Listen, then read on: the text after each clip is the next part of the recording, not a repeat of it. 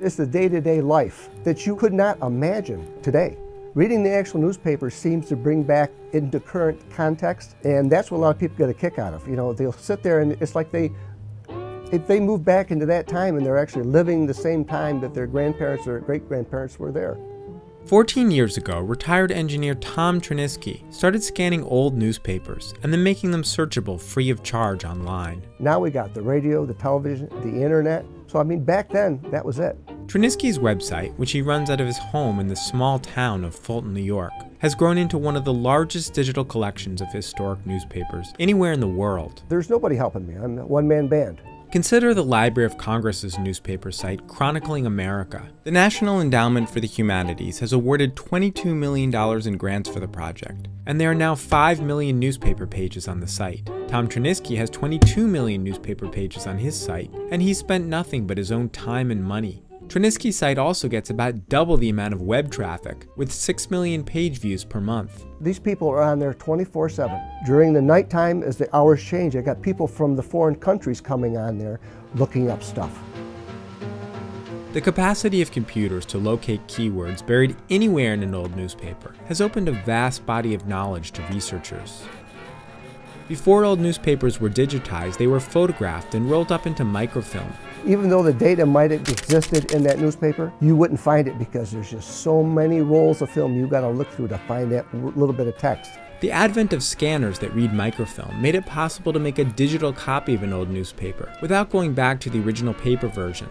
Tryniski, who's a high school graduate, purchased his first microfilm scanner for $3,500 in a fire sale in 2003. He installed a keyword recognition program, set up a network of PCs to do the heavy processing, and began uploading the images to a server that's located in a gazebo right on his front deck. Once the computers come along, people would just type into the search engine the name. It would find it in a newspaper and they would get something that it's instantaneous, they can do it from home, and it doesn't cost them a nickel.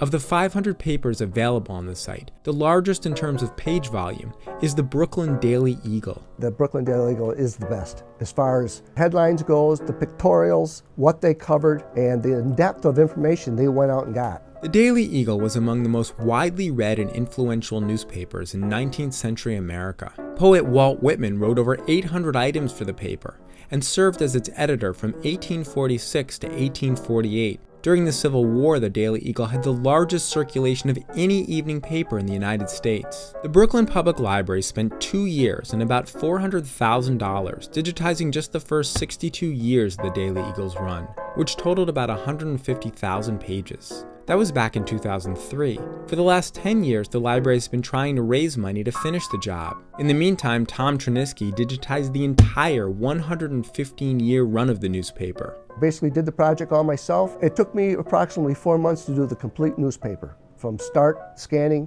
to the finished product, which the OCR imaged, word recognized. The Brooklyn Public Library's Daily Eagle site and the Library of Congress's Chronicling America meet professional cataloging standards. They have fewer keyword recognition errors, and they're easier to search for casual users. Tryniski's website, which includes swimming fish and the occasional live video stream of squirrels eating corn on its front deck, looks nothing like that of an institutional library. We have also have a picture of myself as an old spider on there, and it's called the original web crawler. So you can come to my site and say, this is gaudy, it's crazy, I've never come back here. That's not the point of it. The point is the newspapers that I have available for free, forget the interface. Once you uh, hit the search button, all that stuff disappears and you get to see the newspaper. There have been about 150,000 different newspapers in America, going back to colonial times. Many of them still languishing in archive stacks and microfilm rolls, out of reach for keyword recognition software. I'm not going to make really a big dent in it. I'm doing a lot, but there's so much newspapers out there. It's phenomenal. I get a lot of satisfaction making people happy finding the information. It's just that it's really nice looking back in time and reading about what was going on.